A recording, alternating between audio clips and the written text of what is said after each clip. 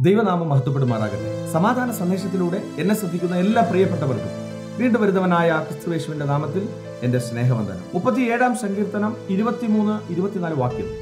ഒരു മനുഷ്യന്റെ വഴിയിൽ പ്രസാദം തോന്നിയാൽ യഹോവ അവന്റെ ഗമനത്തെ സ്ഥിരമാക്കും. അവൻ വീണാലും നിലം പരിചാകയില്ല. യഹോവ അവന്റെ കൈക്ക് പിടിച്ച് താങ്ങുന്നു എന്നെ കേൾക്കുന്ന പ്രിയരെ ബൈബിൾ പറയുന്നു ഒരു മനുഷ്യന്റെ വഴിയിൽ ദൈവത്തിന് പ്രസാദം തോന്നണം. അങ്ങനെ തോന്നിയാൽ നിന്റെ യാത്ര മുഴുവൻ ദൈവം അനുഗ്രഹിക്കും. വിശുദ്ധ ബൈബിളിൽ ദാവീദിനെ നമുക്കറിയാം. ദാവീദ് അതിശക്തനായി കാട്ടിൽ കിടന്ന ദാവീദിനെ ദൈവം കൊണ്ടുവന്ന് അസാധാരണമായ അഭിഷേകത്തോടെ നിർത്തി ഒറ്റ കല്ലുകൊണ്ട് മലനായ ഗോലിയാത്തിനെ തലയ്ക്കെറിഞ്ഞ് തറയെ തള്ളിയിട്ട ദാവീദ്. ഒന്നുകൂടെ പറഞ്ഞാൽ ദൈവത്തിന്റെ ഹൃദയത്തിനകത്ത് ഇഷ്ടമുള്ള കർത്താവിന് സ്നേഹമുള്ള ഒരു മനുഷ്യനാണ് ദാവീദ്. ബൈബിൾ വായിക്കുമ്പോഴും പഠിക്കുമ്പോഴും ഒക്കെ നമുക്ക് അറിയാൻ പറ്റും.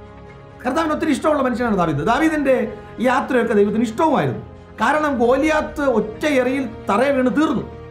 തീർന്ന ഗോലിയാത്തിനെ പിന്നെ തൊടേണ്ട കാര്യമില്ല. പക്ഷേ ദാവീദ് ചെയ്തത് അവന്റെ തലയും കൂടെ വെട്ടി കയ്യിലെടുത്തു കർത്താവ് നോക്കിയപ്പോൾ കൊള്ളാം. നല്ല ഉശിരനാണ്. ഒരു കാര്യം ചെയ്താൽ ഒരു പണി ഏൽപ്പിച്ചാൽ അതിനെ നന്നായിട്ട് പ്രതികരിക്കും അങ്ങനെ ഒരു കഴിവുള്ള ദാവീദിന്റെ യാത്രയൊക്കെ ദൈവം എന്ത് ചെയ്യാറുണ്ട്? സുഗമമാക്കാറുണ്ട്.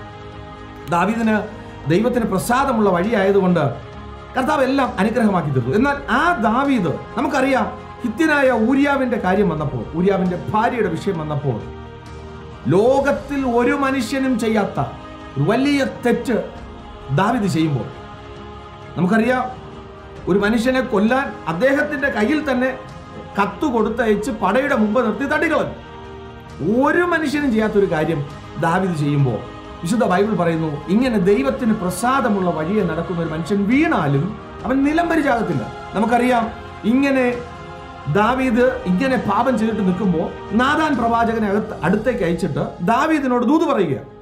ദാവീദ് ചോദിച്ചു നീ തന്നെ എന്ന് പറയുമ്പോൾ ഗോലിയാത്തിനെ കല്ലെറിഞ്ഞു കൊന്ന ദാവീദിന് നാദാന്റെ തല വെട്ടാൻ എത്ര സെക്കൻഡ് വേണം? ഒറ്റ സെക്കൻഡ് മതി. എന്നാൽ മാനസാന്തരപ്പെടാൻ മനസ്സുള്ള ദൈവിക അരുളപ്പാട് കേട്ട് തന്റെ പാപത്തെ ബോധ്യപ്പെടുത്തിയപ്പോൾ അതിനെ തിരിച്ചറിഞ്ഞ് മടങ്ങി വരാൻ മനസ്സുള്ള ദാവീദിനെ കർത്താവ് നിലം പരിചാക്കി കളയാതെ ഒന്നുകൂടി പറഞ്ഞാൽ നഷ്ടപ്പെടുത്തി കളയാതെ തള്ളിക്കളയാതെ യഹോവ കൈക്ക് പിടിച്ച് താങ്ങിയതുപോലെ. പ്രിയരെ നമ്മുടെ വഴിയൊക്കെ ദൈവത്തിന് പ്രസാദകരമായ കർത്താവിന് ഇഷ്ടമുള്ളതായ ദൈവത്തിന് സ്നേഹമുള്ള വഴിയെ നീ നടന്നാൽ. നിന്റെ ഗമനത്തെ ദൈവം സ്ഥിരമാക്കും. മാത്രമല്ല നിന്നെ നിലംപരിചാകാതെ അറിയാതെ നിന്റെ ജീവിതത്തിൽ വന്നു പോകുന്ന ചില പ്രതിസന്ധികൾ നിന്നെ തള്ളിക്കളയാതെ ചേർത്ത് പിടിക്കുന്ന ദൈവം വിശ്വസ്തൻ. വിശ്വസിക്കുക പ്രാർത്ഥിക്കുക. ദൈവം വിശ്വസ്തൻ. God bless you